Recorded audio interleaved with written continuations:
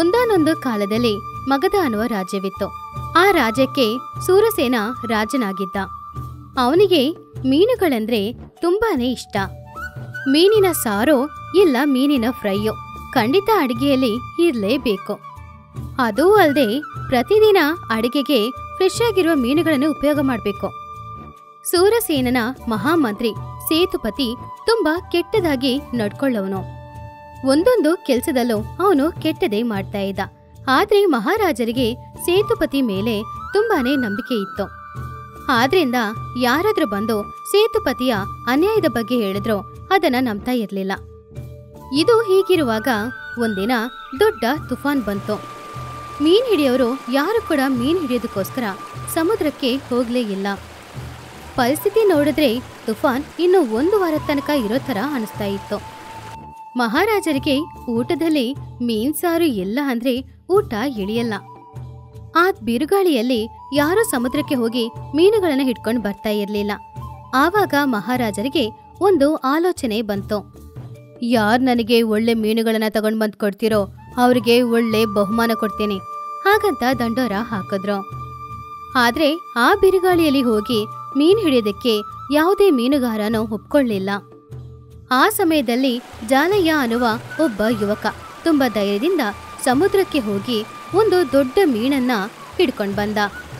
ಆ ದೊಡ್ಡ ಮೀನನ್ನು ಹಿಡ್ಕೊಂಡು ಅವನು ನೇರವಾಗಿ ರಾಜಭವನಕ್ಕೆ ಹೋದ. ಆವಾಗ ಅಲ್ಲಿದ್ದ ದ್ವಾರಪಾಲಕರು ಜಾಲಯ್ಯನನ್ನು ಒಳಗಡೆ ಹೋಗಕ್ಕೆ ಬಿಡ್ಲೇ ಇಲ್ಲ. ಆ ಸಮಯದಲ್ಲಿ ಮಹಾಮಂತ್ರಿಯಾದ ಸೇತುಪತಿ ಅಲ್ಲಿಗೆ ಬಂದ್ರು. ಅವನು ಜಾಲಯ್ಯನನ್ನು ನೋಡಿ, ನಿನ್ನನ್ನ ರಾಜರ ಹತ್ತಿರ ನಾನ್ ಕರ್ಕೊಂಡು ಹೋಗ್ತೇನೆ. ಆದ್ರೆ ಒಂದು ಷರತ್ತು. ರಾಜರು ನಿಮಗೆ ಕೊಡುವ ಬಹುಮಾನದಲ್ಲಿ ಅರ್ಧ ಭಾಗ ನನಗೂ ಕೊಡಬೇಕು. ಅದಕ್ಕೆ ನಿನಗೆ ಇಷ್ಟವಾದ್ರೆ ನೀನು ಒಳಗಡೆ ಹೋಗ್ಬೋದು. ಇಲ್ಲಾಂದ್ರೆ ನಿನ್ ದಾರಿಯಲ್ಲಿ ನೀನು ವಾಪಸ್ ಹೋಗ್ಬೋದು. ಹಾಗಂತ ತುಂಬಾ ಸ್ಟ್ರಿಕ್ಟ್ ಆಗಿ ಹೇಳ್ಬಿಟ್ಟ. ಮಹಾಮಂತ್ರಿಯ ಮಾತನ್ನು ಕೇಳಿದ ಜಾಲಯನಿಗೆ ತುಂಬಾನೇ ಕೋಪ ಬಂತು. ಸರಿ ಮಂತ್ರಿಯವರೇ ನೀವು ಹೇಳಿದ ಹಾಗೇನೆ ಮಾಡ್ತೀನಿ. ಸಿಗೋ ಬಹುಮಾನದಲ್ಲಿ ಅರ್ಧ ಭಾಗ ನಿಮಗೆ ಸಿಗೋ ತರಾನೇ ನಾನ್ ಮಾಡ್ತೀನಿ. ಹಾಗಂತ ಹೇಳ್ದ. ಆಮೇಲೆ ಸೇತುಪತಿ ಜಾಲಯ್ಯನನ್ನು ಆ ರಾಜಭವನದ ಒಳಗಡೆ ಕಳಿಸ್ದ. ಅವನ ಕೈಯಲ್ಲಿದ್ದ ದೊಡ್ಡ ಮೀನನ್ನ ನೋಡಿ ಮಹಾರಾಜ ತುಂಬಾನೇ ಸಂತೋಷಪಟ್ರು. ಸಬಾಷ್, ಇಂತಹ ಬಿರುಗಾಳಿಯಲ್ಲಿ ನೀನು ಸಾಹಸ ಮಾಡಿ ಸಮುದ್ರಕ್ಕೆ ಹೋಗಿ ಇಷ್ಟು ದೊಡ್ಡ ಮೀನನ್ನ ತಗೊಂಡ್ ಬಂದಿದೀಯಾ? ನೀನು ನಿಜವಾಗ್ಲೂ ತುಂಬಾ ಧೈರ್ಯವಂತ. ನಿನಗೆ ಏನ್ ಬೇಕು ಕೇಳು, ನಾನ್ ಕೊಡ್ತೀನಿ. ಹಾಗಂತ ಹೇಳಿದ್ರು. ಆವಾಗ ಯುವಕ, ಜಾಲಯ್ಯ, ಪ್ರಭು, ನನಗೆ ಹತ್ತು ಚಾವಟಿ ಏಟನ್ನ ಬಹುಮಾನವಾಗಿ ಕೊಡಿ. ಹಾಗಂತ ಕೇಳ್ದ. ಮಹಾರಾಜ ಜಾಲಯ್ಯನ ಕೋರಿಕೆಯನ್ನು ಕೇಳಿ ತುಂಬಾ ಆಶ್ಚರ್ಯಪಟ್ರು. ರಾಜ ಅವನತ್ರ ಎಷ್ಟೇ ಹೇಳಿದ್ರು ಕೂಡ ಜಾಲಯ್ಯ ಮಾತ್ರ ಒಪ್ಕೊಳ್ಳೇ ಇಲ್ಲ. ತುಂಬಾನೇ ಹಠ ಹಿಡ್ದ. ಜಾಲಯ್ಯ ಅಷ್ಟು ಹಠ ಹಿಡಿಯೋದ್ರಿಂದ ಸಿಪಾಯಿಗಳ ಹತ್ತಿರ ಹೇಳಿ, ಅವನನ್ನ ಹತ್ತು ಸಲ ಚಾವಟಿಯಿಂದ ಹೊಡಿರಿ ಅಂತ ಹೇಳಿದ್ರು. ಐದು ಸಲ ಅವನು ಪೆಟ್ ತಿಂದ್ಮೇಲೆ ಸಾಕು ಸಾಕು ನನ್ ಭಾಗ ಮುಗ್ದೈತು ಇನ್ನು ಮಿಕ್ಕಿರುವ ಐದು ಪೆಟ್ಟನ್ನ ನನ್ನ ಪಾಲುದಾರನಿಗೆ ಕೊಡಬೇಕು. ಹಾಗಂತ ಹೇಳ್ದ ಜಾಲಯ್ಯ. ಆವಾಗ ಮಹಾರಾಜ ಅದನ್ನು ಕೇಳಿ ಆಶ್ಚರ್ಯದಿಂದ, ಹ್ಮ್, ಯಾರು ನಿನ್ನ ಪಾಲುದಾರ? ಹಾಗಂತ ಕೇಳಿದ್ರು. ಪ್ರಭು ನನ್ನನ್ನ ಕ್ಷಮಿಸ್ಬಿಡ್ಬೇಕು. ನಿಮ್ಮ ಮಹಾಮಂತ್ರಿನೇ ಆ ಪಾಲುದಾರ. ನಾನು ಮೀನನ್ನ ತಗೊಂಡು ರಾಜಭವನದೊಳಗೆ ಬರೋದ್ಕಿಂತ ಮುಂಚೆ ಅವರು ನನ್ನ ಹತ್ರ ಒಂದು ಷರತ್ ಹಾಕಿದ್ರು. ನೀವು ನನಗೆ ಕೊಡುವ ಬಹುಮಾನದಲ್ಲಿ ಅರ್ಧ ಭಾಗವನ್ನು ಅವರಿಗೆ ಕೊಡಬೇಕು ಅಂತ ನಿರ್ಧಾರವಾಗಿ ಹೇಳಿದ್ರು. ಆದ್ರಿಂದ ನಿಮ್ಮ ಮಂತ್ರಿನೇ ನನ್ನ ಪಾಲುದಾರ. ಮಂತ್ರಿಯ ಅರ್ಧ ಭಾಗವನ್ನು ಅವರಿಗೆ ಕೊಟ್ಬಿಡಿ ಅಂತ ಹೇಳ್ದ. ಜಾಲಯ್ಯ, ಈ ವಿಷಯವನ್ನ ನೀನು ಮೊದಲೇ ನನ್ನ ಹತ್ರ ಹೇಳ್ಬೇಕಾಗಿತ್ತು. ಆ ಐದು ಪೆಟ್ಟೆಗಳನ್ನ ನೀನ್ ಯಾಕ್ ತಿಂದೆ? ಹಾಗಂತ ಕೇಳಿದ್ರು. ಮಹಾರಾಜ, ನಾನು ಮೊದ್ಲೇ ಹೇಳಿದ್ರೆ ಒಬ್ಬ ಸಾಮಾನ್ಯನ ಮಾತನ್ನ ನೀವು ಕೇಳ್ತಿರ್ಲಿಲ್ಲ. ಅದು ಅಲ್ಲದೆ ಮಹಾಮಂತ್ರಿಯ ಮೇಲೇನೆ ಆರೋಪ ಹೊರಿಸ್ತೀಯಾ ಅಂತ ನನ್ ಮೇಲೇನೆ ಕೋಪ ಮಾಡ್ಕೊಳ್ತಿದ್ರಿ. ಆದ್ರೆ ಐದು ಚಾವಟಿ ಏಟುಗಳನ್ನ ನಾನು ಮೊದ್ಲೇ ತಿಂದೆ ಅಲ್ವಾ? ಆದ್ರಿಂದ ನೀವು ನನ್ನನ್ನ ನಂಬ್ತಾ ಇದ್ದೀರಾ? ಆದ್ರಿಂದಾನೇ ಹೀಗೆ ಮಾಡ್ದೆ. ಹಾಗಂತ ಹೇಳ್ದ. ಈ ಬಿರುಗಾಳಿಯಲ್ಲಿ ಕಷ್ಟಪಟ್ಟು ಸಾಹಸ ಮಾಡಿ ಮೀನನ್ನ ತಗೊಂಡ್ ಬಂದಿದ್ದು ಮಾತ್ರವಲ್ಲದೆ ಮಹಾಮಂತ್ರಿ ಎಂತವನು ಅನ್ನೋದನ್ನ ತುಂಬಾ ಬುದ್ಧಿವಂತಿಕೆಯಿಂದ ತಿಳಿಸಿದ ಜಾಲಯ್ಯನನ್ನು ಮಹಾರಾಜ ಹೊಗಳಿದ್ರು. ಮಹಾಮಂತ್ರಿಗೆ ಕಾರಾಗ್ರಹ ಶಿಕ್ಷೆಯನ್ನು ಕೊಟ್ರು. ಜಾಲಯ್ಯ ಮಾಡಿದ ಸಾಹಸಕ್ಕೆ ಅವನಿಗೆ ಬಹುಮಾನ ಕೊಟ್ಟಿದ್ದು ಮಾತ್ರವಲ್ಲದೆ ಅವರ ಆಸ್ಥಾನದಲ್ಲಿ ಅವನಿಗೆ ಉದ್ಯೋಗವನ್ನು ಕೊಟ್ಟು ಗೌರವಿಸಿದ್ರು. ರಾಯವರಂ ಅನ್ನುವ ಊರಿನಲ್ಲಿ ತ್ಯಾಗರಾಜು ಅನ್ನುವ ಹರಿಕತೆ ದಾಸರು ಇದ್ರು. ಹರಿಕತೆ ಹೇಳದ್ರಲ್ಲಿ ತ್ಯಾಗರಾಜನನ್ನು ಮೀರಿಸುವ ದಾಸರು ಇಲ್ಲ ಅಂತಾನೆ ಎಲ್ರೂ ಹೇಳ್ತಿದ್ರು. ಅವರು ಹರಿಕತೆ ಹೇಳದನ್ನ ಕೇಳಿ ಸುಮಾರು ಪ್ರಜೆಗಳು ಹರಿಕತೆ ಹೇಳದ್ರಲ್ಲಿ ಇವರಿಗಿಂತ ಬೆಟರ್ ಯಾರು ಇಲ್ಲ ಅಂತ ಸಂತೋಷದಿಂದ ಹೇಳ್ತಾ ಇದ್ರು. ಹಾಗೆ ತ್ಯಾಗರಾಜ ದಾಸರ ಹೆಸರು ಎಲ್ಲ ಊರಿನಲ್ಲೂ ತುಂಬಾನೇ ಫೇಮಸ್ ಆಗಿತ್ತು. ಇದು ಹೀಗಿರುವಾಗ ಒಂದ್ಸಲ ತ್ಯಾಗರಾಜ ದಾಸರ ಹರಿಕತೆನ ನಮ್ಮೂರಲ್ಲಿ ಕೇಳಿಸ್ಬೇಕು ಅಂತ ಆ ಊರಿನವರು ಎಲ್ರೂ ಕೂಡ ನಿರ್ಧಾರ ಮಾಡಿದ್ರು. ತಕ್ಷಣ ಊರಿನವರು ಎಲ್ರೂ ಕೂಡ ಒಂದ್ ಕಡೆ ಒಂದ್ಕೊಡಿದ್ರು ತ್ಯಾಗರಾಜ ದಾಸರು ನಿಜವಾಗ್ಲೂ ಸಾಧಾರಣ ಮನುಷ್ಯನೇ ಅಲ್ಲ. ಅವರು ಹರಿಕತೆ ಹೇಳದನ್ನ ಕೇಳಿದ್ರೆ ಆ ದೇವ್ರೆ ಕೆಳಗಿಳಿದು ಬಂದ ತರ ಇರುತ್ತೆ.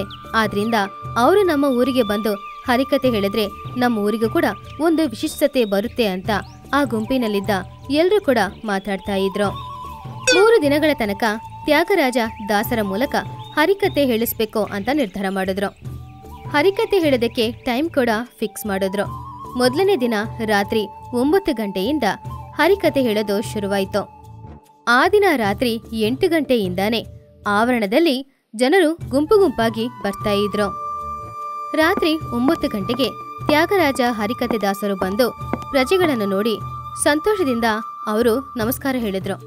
ಆಹ್ವಾನ ಸಂಘದವರು ತ್ಯಾಗರಾಜ ಭಾಗವತರಿಗೋಸ್ಕರ ದೊಡ್ಡ ಗಜಮಾಲೆನ ರೆಡಿ ಮಾಡಿದ್ರು. ಆ ಗಜಮಾಲೆಗೆ ಸುಮಾರು ಹಣ ಖರ್ಚು ಮಾಡಿ ರೆಡಿ ಮಾಡಿಸಿದ್ರು. ಆ ಆಹ್ವಾನ ಸಂಘದಲ್ಲಿದ್ದ ಅಧ್ಯಕ್ಷರೆಲ್ಲರೂ ಬಂದು ತ್ಯಾಗರಾಜ ಭಾಗವತರಿಗೆ ಆ ಗಜಮಾಲೆನ ಹಾಕಿ ಮರ್ಯಾದೆ ಮಾಡಿದ್ರು. ನಾನು ಎಷ್ಟೋ ಸ್ಥಳಗಳಿಗೆ ಹೋಗಿದ್ದೇನೆ, ಆದರೆ ಇಷ್ಟು ಸುಂದರವಾದ ಗಜಮಾಲೆನ ನಾನು ಯಾವಾಗಲೂ ನೋಡಿದ್ದಿಲ್ಲ. ಈ ಗಜಮಾಲೆಯಲ್ಲಿ ಸೇವಂತಿ, ಗುಲಾಬಿ, ಮಲ್ಲಿಗೆ, ಸಂಪಂಗಿ ಈ ರೀತಿ ಹಲವಾರು ಹೂಗಳಿದೆ. ಇಂತಹ ಅಂದವಾದ ಗಜಮಾಲೆನ ನಾನು ಯಾವಾಗಲೂ ಹಾಕ್ಕೊಳ್ಳಿಲ್ಲ. ಆಹಾ, ಎಷ್ಟು ಒಳ್ಳೆ ಸನ್ಮಾನ ನನಗೋಸ್ಕರ ನೀವು ಮಾಡಿದಿರಾ ಈ ದಿನ ನಾನು ನನ್ನ ಜೀವನದಲ್ಲಿ ಮರೆಯಲ್ಲ. ಇಂತಹ ಒಂದು ಒಳ್ಳೆ ದಿನ ನನ್ನ ಜೀವನದಲ್ಲಿ ಪುನಃ ಬರುತ್ತೆ ಅನ್ನುವ ನಂಬಿಕೆ ನನಗಿಲ್ಲ. ಸ್ವಲ್ಪ ಸಮಯದ ನಂತರ ತ್ಯಾಗರಾಜ ಭಾಗವತರು ಏನೋ ತುಂಬಾ ನೋವನ್ನು ಅನುಭವಿಸ್ತಾ ಇರೋ ತರ ಕಾಣಿಸಿದ್ರು. ಅದನ್ನ ಪ್ರಜೆಗಳು ಗಮನಿಸಿದ್ರು. ಅವರ ಮುಖದ ಭಾವನೆಯನ್ನು ನೋಡಿದ್ರೆ ಏನೋ ಕಷ್ಟಪಡ್ತಾ ಇರುವ ಹಾಗೇನೆ ಅನಿಸ್ತಿತ್ತು. ಅವರು ಪುನಃ ಪುನಃ ಅವರ ಶರೀರವನ್ನು ಮುಟ್ಟಿ ನೋಡ್ಕೊಳ್ತಾನೆ ಇದ್ರು. ಅವ್ರು ಹಾಕೊಂಡಿದ್ದ ಬಟ್ಟೆನ ತಿರುಗಿಸ್ತಾ ಇದ್ರು. ಅಲ್ಲಿದ್ದವರಿಗೆ ಏನು ಅರ್ಥನೇ ಆಗ್ಲಿಲ್ಲ. ನಿಜ ಏನು ಅಂದ್ರೆ ಆಹ್ವಾನ ಸಂಘದವರು ಹಾಕಿದ ಗಜಮಾಲೆಯಲ್ಲಿ ಗುಲಾಬಿ ಹೂವಿನಲ್ಲಿ ಕೆಂಪು ಇರುವೆಗಳು ಇತ್ತು. ಆ ಇರುವೆಗಳೆಲ್ಲ ತ್ಯಾಗರಾಜ ಭಾಗವತರ ಮೈಯೆಲ್ಲ ಹರಡಿ ಭಯಂಕರವಾಗಿ ಕಚ್ಚಕ್ಕೆ ಶುರು ಮಾಡಿತು ಅದೇ ಅವರಿಗೆ ದೊಡ್ಡ ಕಷ್ಟ ಆಗ್ತಾ ಇತ್ತು. ಪ್ರೀತಿಯಿಂದ ಹಾಕಿದ ಆ ಗಜಮಾಲೆಯನ್ನು ಹಾಕೊಳ್ಬೇಕಾ, ತೆಗಿಬೇಕಾ ಅನ್ನೋದು ಅರ್ಥ ಆಗ್ಲಿಲ್ಲ. ಪಾಪ ಅವರು ತುಂಬಾನೇ ಕಷ್ಟಪಡ್ತಾ ಇದ್ರು. ಈ ದಿನ ನನ್ನ ಜೀವನದಲ್ಲಿ ತುಂಬಾ ಕೆಟ್ಟ ದಿನ ಅಂತ ಅನಿಸ್ತಾ ಇದೆ. ಹಾಗಂತ ಮನಸ್ಸೊಳಗಡೆ ಅಂದ್ಕೊಂಡ್ರು. ಆಮೇಲೆ ಆ ಆಹ್ವಾನ ಸಂಘದವರನ್ನ ಕರೆದು ಆ ಗಜಮಾಲೆನ ತೆಗೆ ಕೇಳಿ ಆಮೇಲೆ ಅವರು ಹರಿಕತೆ ಹೇಳಕ್ಕೆ ಶುರು ಮಾಡಿದ್ರು.